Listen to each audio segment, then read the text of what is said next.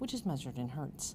Over here on this side, we have lower pitch sounds, and over here we have higher An audiogram is a summary of your hearing test results that includes a graph that visually depicts the hearing ability that you have in each ear. Lower pitch sounds tend to be more Your hearing care practitioner will explain how to interpret the graph what gives speech and how you are hearing across the pitches.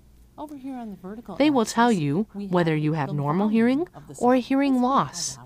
Which may be Up here at the mild, top, we have very moderate, soft sounds, and severe, not as quiet or as what you can profound. hear.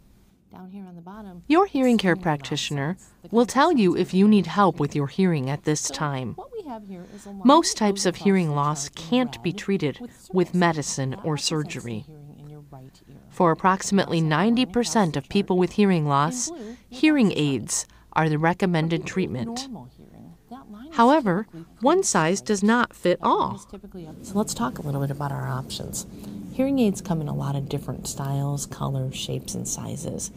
They come in custom made in the ear hearing aids and lightweight behind the ear hearing aids. This here